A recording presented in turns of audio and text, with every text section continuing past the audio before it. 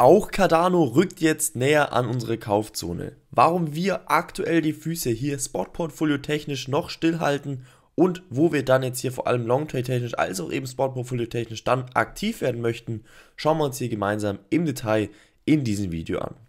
Und damit würde ich sagen, Servus und herzlich willkommen zum heutigen Cardano Spezialupdate von Trading on Air.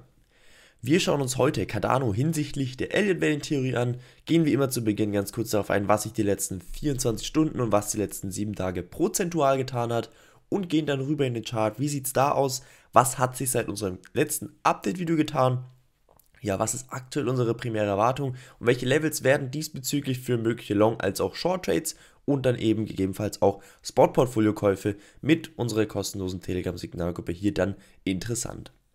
Bevor wir anfangen, wie immer noch eines vorweg, ihr könnt dem Video gerne mal einen Daumen nach oben da lassen, falls noch nicht geschehen, auch gerne den Kanal kostenlos abonnieren und wenn ihr möchtet auch die Glocke aktivieren.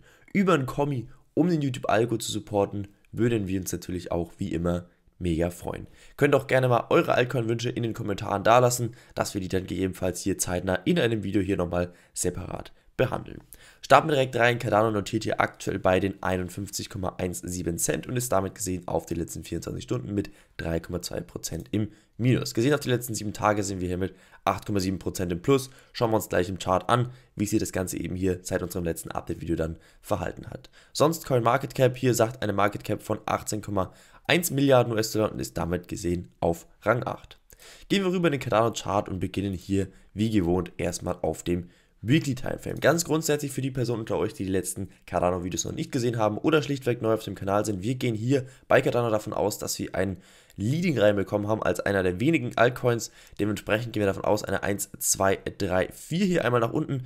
Demnach gehen wir davon aus, dass wir aktuell bereits in unserer letzten gelben Welle 5 dieses ersten großen Leading Diagonals sind und erwarten demnach jetzt im nächsten Bullrun hier Targets beginnen, wohlgemerkt bei den 5,82 Dollar, was eben auch sehr gut korrelieren kann mit einem weiteren Touch hier unserer Resistance Line. Das wäre von unserem aktuellen Preis eben nochmal an ein Pump von hier 1200%, sonst danach erst wieder die nächste Haltestelle beim One-to-One-Ratio, würde hier reinkommen bei den 7400%. Da sehen wir aber eher das 0618 jetzt hier eben im Bullrun als nächste Haltestelle für Cardano. Gehen wir noch eins runter und schauen uns ganz kurz an, wie wir unsere gelbe 4 unterteilt haben, für die, die es interessiert. Und zwar das Ganze im WXYXZ. Demnach ist mit unserem Low hier ganz, ganz rechts unsere gelbe 4 gefunden. Wir sind aktuell in unserer gelben 5.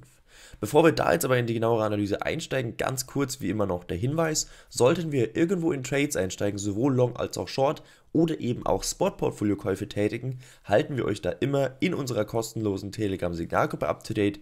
Link dazu findet ihr unten in der Videobeschreibung. So sehen die Signale aus. Wie immer muss dazu gesagt sein, das Ganze ist natürlich keine finanzielle Anlageberatung. So traden wir. Ihr könnt diese Trades nachmachen müsst das natürlich nicht. Wir traden auf Budget, gibt es auch einen Link unten in der Videobeschreibung. Wenn ihr euch darüber registriert, spart ihr euch im Endeffekt einfach einen Großteil an Gebühren, unterstützt natürlich den Kanal und habt, wenn ihr die Signale nachtraden möchtet, überhaupt keine Kursabweichungen mehr.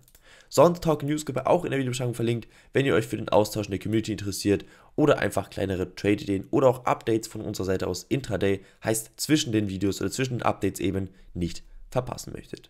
Gut, genug Werbung in eigener Sache, gehen wir runter auf den 4-Stunden-Timeframe. Wie unterteilen wir aktuell nochmal unsere gelbe 5? Das Ganze natürlich hier klassischerweise nochmal im Impuls, heißt im Orangen-Count gehen wir davon aus, dass wir hier einmal eine Orange 1 bis zu unserem Top reinbekommen haben und zwar das Ganze hier im Grün. 1, 2, 3, Sideways 4, Extension in der 5 und gehen demnach davon aus, dass hier mit unserem rechten High unsere Orangen 1 gefunden ist und wir seitdem bereits in unserer orangenen Wellen 2 Korrektur sind. Da beginnen die Targets eigentlich beim 0,5er, heißt hier bei den 40 Cent und Fokus liegt an sich statistisch gesehen auf dem Golden Pocket bei den, beginnt bei den 36 Cent. Von dort aus würden wir dann spätestens hier nochmal eine Trendumkehr erwarten, heißt, dass wir hier in der 3 dann nochmal ordentlich durchstarten und von dort aus würden dann die Bereiche beginnen beim 1618er, heißt bei den 1,88 Dollar für diese Orange Welt 3, um dann eben nochmal eine 4 und 5 eben in Richtung unserer Bull Run Targets eben reinzubekommen. Gut möglich, dass auch dann hier die Orangen 3 überextendiert, dass es eben die Orangen 5 dann eben zu unseren 5,82 Dollar, die wir für möglich halten im nächsten Bullrun dann nicht mehr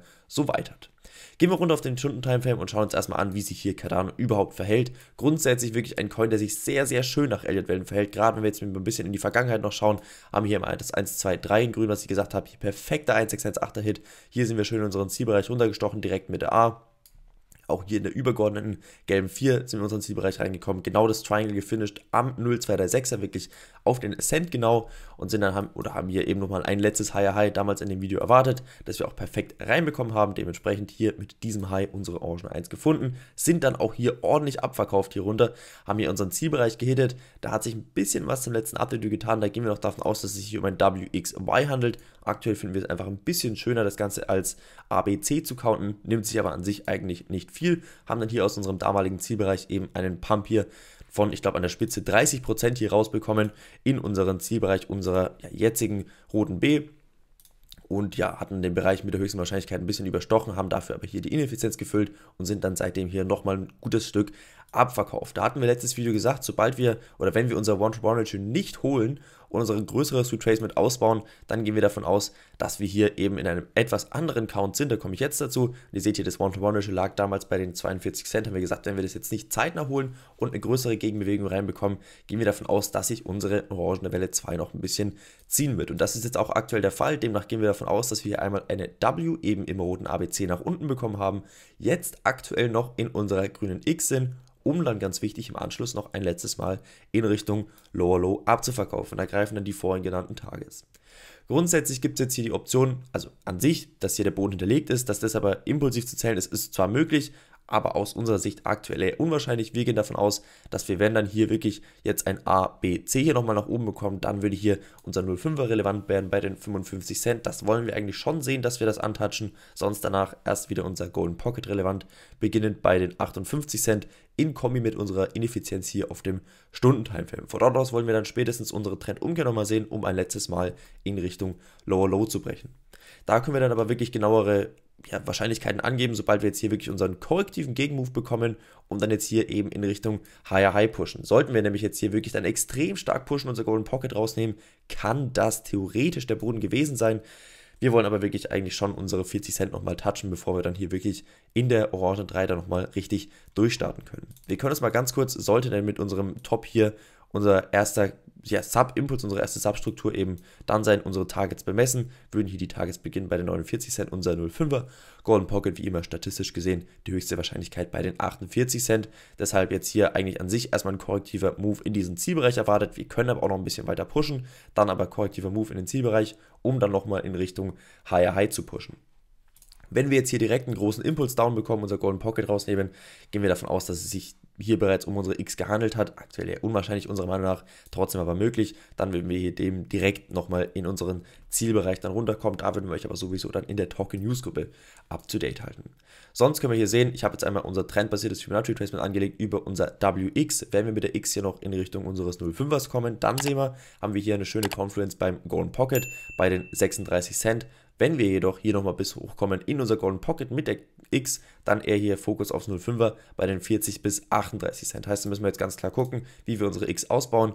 Ist natürlich auch möglich, dass wir die Sideways austragen. Aktuell unsere primäre Erwartung, dass wir eben hier ein ABC nach oben bekommen, unser 05er schon mal mindestens touchen oder gegebenenfalls sogar unser Golden Pocket holen und dann je nachdem hier unten dann in Long Trades als auch Spot-Portfolio-Käufe dann hier mit der kostenlosen Telegram-Signalgruppe einzusteigen.